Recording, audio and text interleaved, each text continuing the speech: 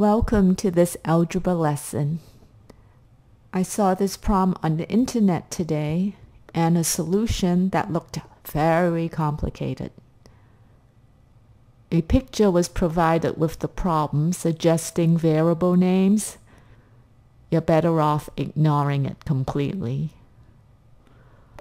You can Google it by just putting in the search box, Emilio is placing a photograph, and it'll show up. So it turns out Emilio is going to put a photograph behind a matting. This matting is 12 inches by 12 inches. The borders are specified so that the two sides are half as narrow as the top and bottom. And the question is find the dimensions of this photo if the photo is required to be 54 square inches. Naming our variables is very important in word problems. In this case, it says find the dimension of the photo.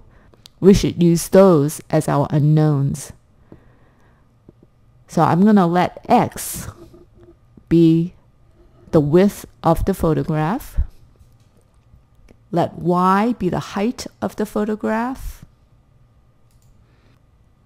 And what should we use for the matting borders? Notice if we just use B for the narrow border, the top and bottom would be 2 times B units wide. Now we can set up equations that relate our unknowns to what's given. Okay, let's use the dimensions of the matting 12 by 12 to find some equations. The total width is 12. That means x plus 2b equals to 12. And it means y plus 4 times b is 12. What else do we know? We know that x times y is 54. That was Emilio's strange requirement. So what we have is a system of three equations with three unknowns x, y, and b. How do we solve three equations, three unknowns? One way is to make it two equations, two unknowns. Get rid of one of the variables. Look at the b. There's a 2b in equation 1, a 4b in equation 2.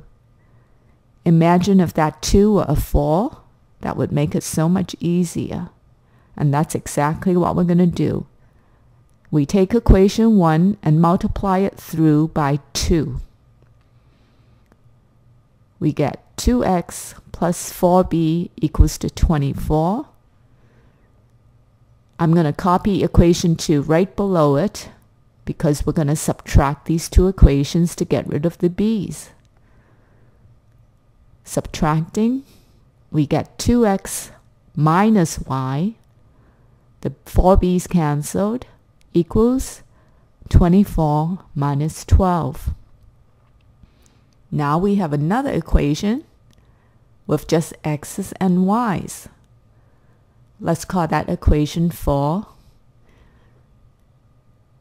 So equation 3 and 4 together is a system of two equations, two unknowns, meaning we can now solve for x and y.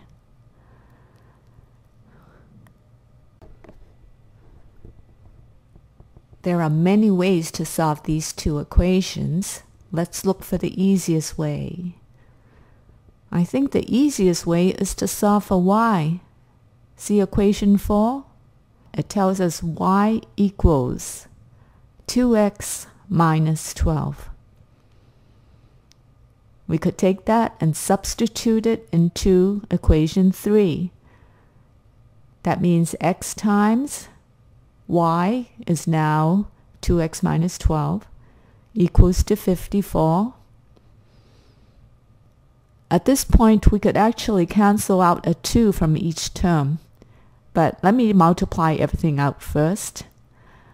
We'll get 2x squared minus 12x equals 54. Divide each term by 2.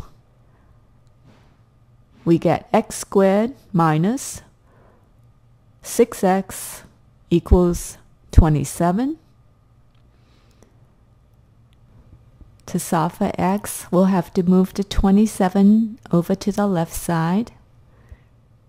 And look, this factors very easily into x minus 9 times x plus 3.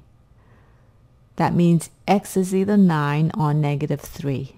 But x can't be negative here. Our answer is x equals 9. To finish up, we solve for y. y is equal to 54 over x. We get y equals to 6. So there's the answer. The photo is 9 by 6.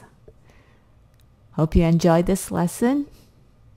Have fun, and I'll see you next time.